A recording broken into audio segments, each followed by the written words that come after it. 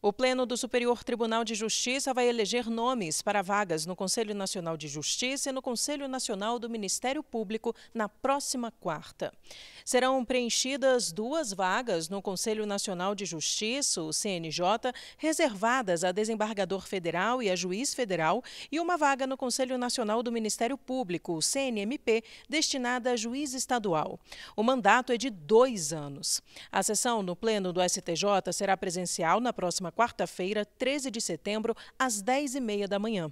Após a escolha, os nomes seguem para o Senado Federal, onde os candidatos serão sabatinados e aprovados antes da nomeação pelo presidente da República. A lista de inscritos pode ser consultada no site do STJ.